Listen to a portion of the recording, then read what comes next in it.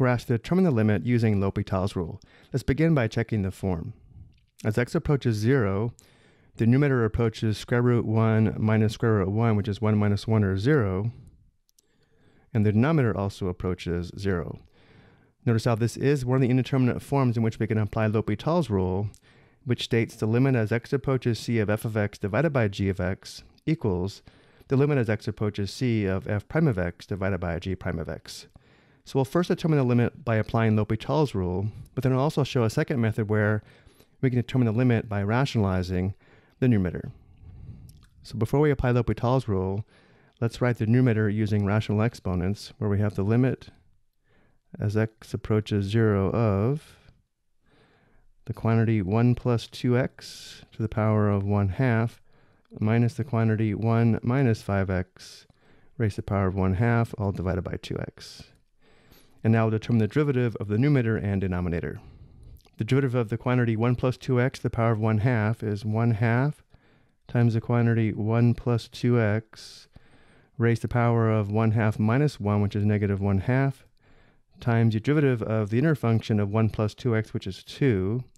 And then we have minus the derivative of the quantity 1 minus 5x to the 1 half, which is 1 half times the quantity 1 minus 5x to the power of negative 1 half, and then times the derivative of 1 minus 5x, which is negative 5. And now we differentiate the denominator of 2x, which is 2. And now let's begin simplifying. In the numerator, notice 1 half times 2 is equal to 1. Let's rewrite the quantity 1 plus 2x to the negative 1 half as 1 divided by the square root of the quantity 1 plus 2x and then we have minus 1 half times the quantity 1 minus 5x to the negative 1 half times negative 5. This simplifies to plus 5 divided by the product of 2 and the square root of the quantity 1 minus 5x. And now from here, dividing by 2 is equivalent to multiplying by 1 half. So let's rewrite this by multiplying the numerator by 1 half. This is equal to the limit as x approaches 0 of 1 half times the first fraction gives us 1 divided by the product of 2 and the square root of the quantity 1 plus 2x, and then plus multiplying the second fraction by 1 half, we would have 5 divided by the product of 4 and the square root of the quantity 1 minus 5x. Notice this 2 here became 4 because we multiplied it by 2 when multiplying by 1 half. And now we can determine the limit by performing direct substitution the limit is equal to 1 divided by 2 times the square root of 1 plus 5 divided by 4 times the square root of 1. Again, I simply substituted 0 for x. Simplifying, we have 1 half plus 5 fourths. And obtaining a common denominator of 4, we have 2 fourths plus 5 fourths, which is equal to 7 fourths.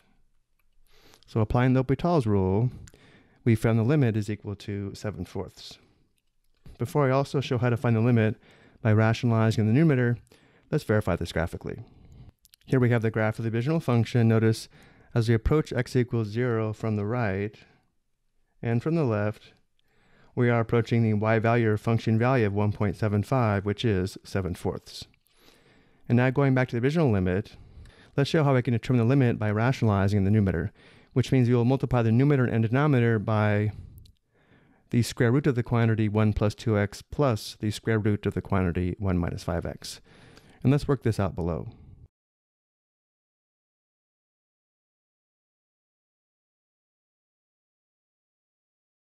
So again, notice here we're multiplying the numerator and denominator by the conjugate of the original numerator.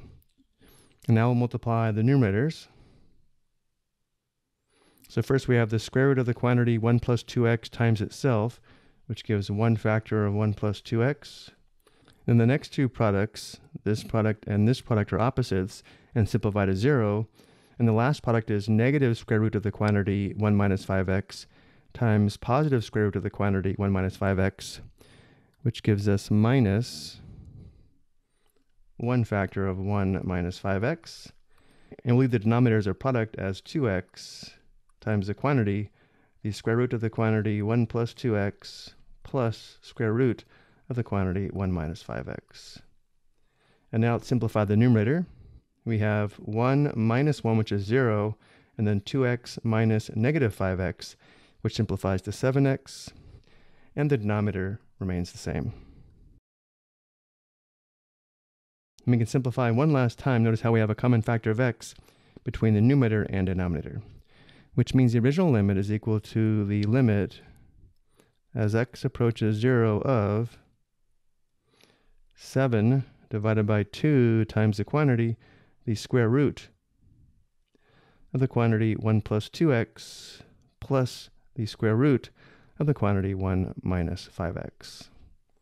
And now we can actually determine the limit by performing direct substitution. We have 7 divided by 2 times the quantity square root 1 plus square root 1, which is 1 plus 1, giving us 7 divided by the product of 2 and 2, which gives us the same result of 7 fourths. So again, we first showed how to find the limit using L'Hopital's rule, and then here we showed how to find the limit by rationalizing the numerator. I hope you found this helpful.